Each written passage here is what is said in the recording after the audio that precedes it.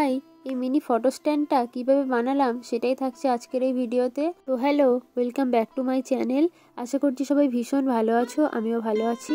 তো ভিডিও শুরু করার আগে প্রথমেই বলি চ্যানেলে যদি নতুন হয়ে থাকো চ্যানেলটাকে সাবস্ক্রাইব করে নিও। আর ভিডিওটাতে একটা লাইক করে দিও। তো চলো এবার শুরু করা যাক। তো মূলত এটা আমি বানিয়েছি ক্লে দিয়ে।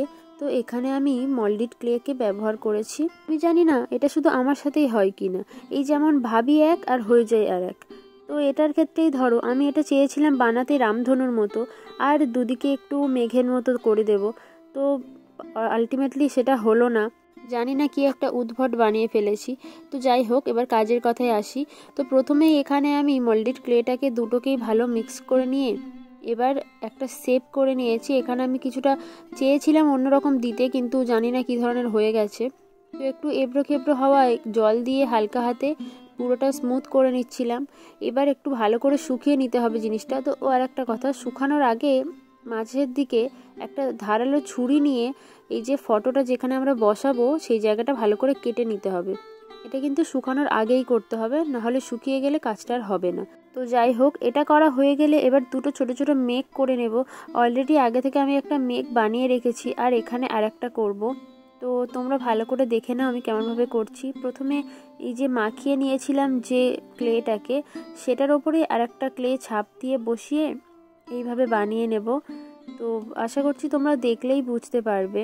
তো এগুলো কমপ্লিটলি বানানো হয়ে গেলে ভালো করে শুকিয়ে নিতে হবে রোদে। তো আমি এটা একদিনের জন্য ভালো করে রোদে শুকাতে দিয়েছিলাম। ভালোভাবে শুকিয়ে গেলে এবার আমরা রং করব।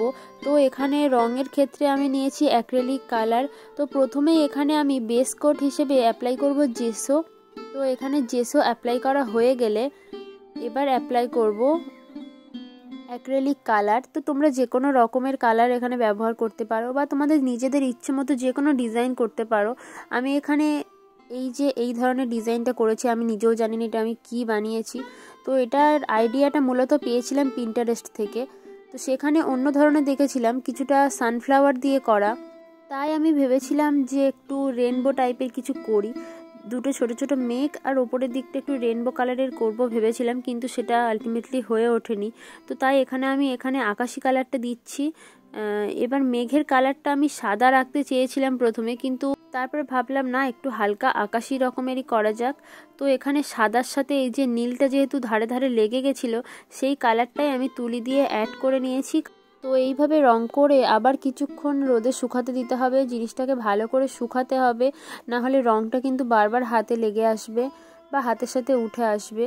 তো এই তো, আমি যদিও কাজটা করার সময় ভালোভাবে শুকায়নি বলে রংটা কিন্তু প্রথমে লেগে যাচ্ছিল, তারপরে রোদে ভালো করে শুকিয়ে নিয়েছি, তারপরে ঠিকঠাক হয়েছে।